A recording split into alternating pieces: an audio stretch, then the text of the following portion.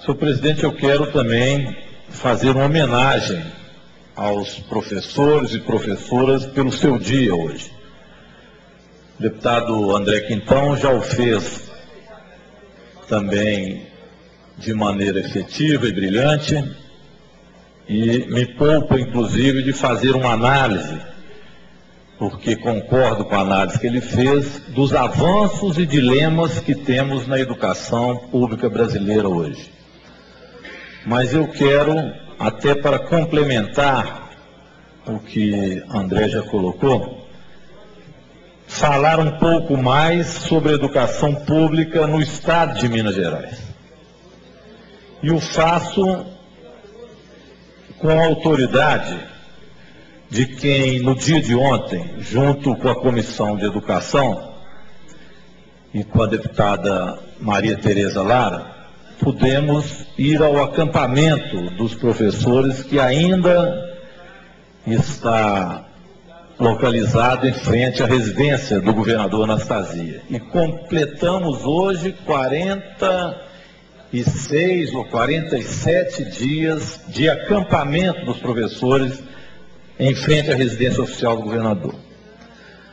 Eu acho no mínimo estranho, deputado André Quintão, Elismar, que agora também nos, nos escuta aqui na Assembleia Legislativa, que durante todo esse período o governador Anastasia não tenha convidado os professores que estão acampados para escutar dele o que eles tinham a dizer.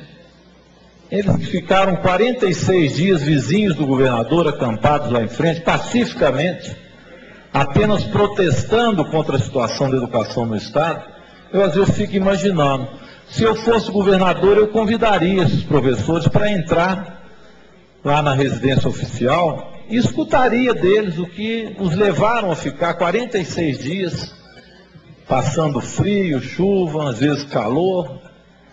O que levaram esses professores a ficar durante tanto tempo acampados em frente à residência oficial do governador? E o governador não teve a curiosidade ou a generosidade de chamar alguns desses professores para ir até a sua residência e escutar deles o que eles têm a dizer da educação. Ontem eu e Maria Tereza estivemos lá com o requerimento aprovado na Comissão de Educação. Já estive lá anteriormente com a Comissão de Direitos Humanos, foi para discutir violência nas escolas. E lá nesse acampamento, as professoras e os professores nos colocaram fatos intrigantes em relação à questão da violência na época. A TV Assembleia naquele dia foi proibida de ir. A imprensa e a comunicação da Assembleia que estavam lá foi, foi obrigada a ser retirada. E até para que isso não ficasse uma má impressão da Assembleia Legislativa, eu sugeri que a Comissão de Educação fosse com a TV Assembleia e também com a equipe de comunicação. E ontem nós fomos lá. Escutamos novamente as questões de segurança. Hoje saiu publicado no boletim da Assembleia, uma excelente matéria que retratou bem a conversa com os professores. E foi de fato uma conversa. Eles colocaram as questões salariais, especialmente a professora Beatriz Siqueira, que eu também, assim como o André, quero homenagear, uma grande sindicalista e grande professora, também presidente da CUT, que tem prestado um enorme serviço na organização da categoria e na luta pela educação pública e gratuita em Minas Gerais e no Brasil. E eles, os professores, nos disseram que esperam o pagamento do piso salarial, o descongelamento da carreira, mas além das questões salariais, o que foi mais enfatizado foram melhorias na infraestrutura das escolas, reivindicar a suspensão do programa Reinventando o Ensino Médico, segundo ele está sendo colocado de maneira autoritária, sem debate, e apenas tentando concorrer com o Pronatec, e portanto não levará a uma melhoria real do ensino médio, apenas uma corrida eleitoral, segundo os próprios professores, e não algo discutido coletivamente com a educação. E colocaram também as questões relativas à violência nas escolas, agressões. Solicitaram, portanto, muito que nós, deputados, fizéssemos uma intervenção em favor da educação pública. Também nos relataram, Elismar, que a Secretaria de Educação não os recebe como deveria, que há muito assédio moral dentro das escolas, da superintendência de ensino, e que a atitude autoritária do governo tem levado com que o estresse dentro das escolas aumente.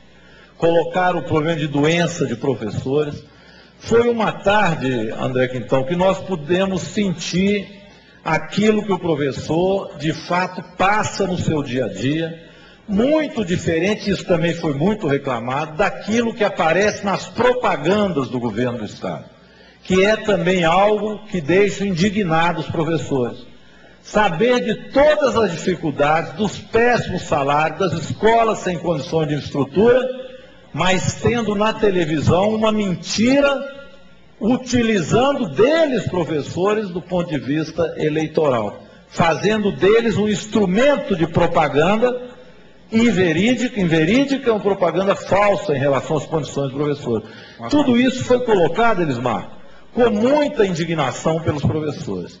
Eu creio que a Comissão de Educação ontem fez uma homenagem ao dia do professor, indo ao acampamento e escutando o que os professores e os professores tinham nos dizer algo que o professor Anastasia preferiu não fazer, preferiu não escutar e preferiu ignorar. Amanhã, os professores e as professoras vêm para a Assembleia Legislativa e vão acampar aqui na Assembleia Legislativa.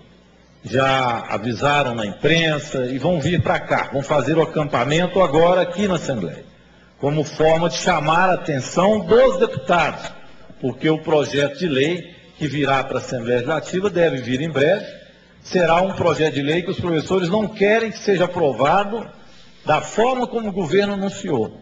E solicitam de nós, deputados, as condições para que sejam abertas negociações reais entre sindicato, Secretaria de Educação e Governo do Estado. Eu disse a eles que nós do bloco os receberemos como eles devem ser recebidos, principalmente porque vêm aqui na semana da educação, na semana do professor. E a gente espera que a acolhida deles seja uma acolhida como os professores e professores merecem, escutando como nós escutamos e buscando atender as reivindicações. Não vai aqui nenhuma palavra demagógica. Todo mundo sabe, e os próprios professores sabem, que aquilo que eles merecem não será conquistado de uma única vez. Mas o governo, no mínimo, tem que planejar uma outra relação com a educação que faça com que vale a pena ser professor, para que o dia do professor possa, algum dia, ser de fato comemorado em Minas Gerais. Então, o nosso reconhecimento aos professores e trabalhadores de educação nesse dia, dando a eles a acolhida amanhã que eles merecem na Assembleia Legislativa.